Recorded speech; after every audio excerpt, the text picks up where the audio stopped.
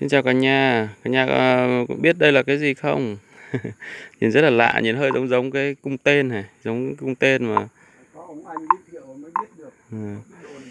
Ờ, có, ông- có ông anh ông ấy giới thiệu mới biết là đây là cái cái để đuổi chim. cái để đuổi chim là như này khi người ta treo khi mà treo lên cao cái một cái cành à, một cái cây cao giống như cái, cần câu á xong là ờ, đây là ở dưới đây sẽ treo một cái giống như cái quạt đấy. Thế xong là gió nó bay thì bắt đầu nó làm cho cái này nó xoay này.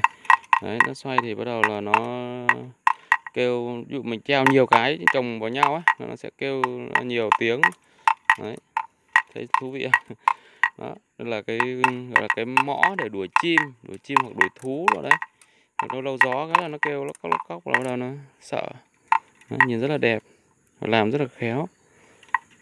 Sáng tạo. Ừ, dưới này có cái chữ thập nó giống như con thuyền. Đấy, có cái khứa để cho tiếng nó kêu to này. Đấy, tới lại cho các bạn xem nhé. Rồi, xin chào cả nhà nhé.